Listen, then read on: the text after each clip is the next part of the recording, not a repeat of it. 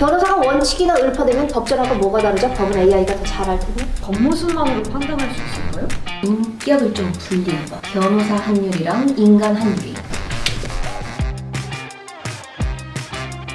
제가 부끄러워서가 아니라 팩트가 아닌 것 같아서 그래서 또 저만 믿으세요. 무슨 뭐 정의의 사도야? 돈으로 기계 안 되는 게 있을까? 돈으로 안 되는 거 그게 사람 감정이겠죠.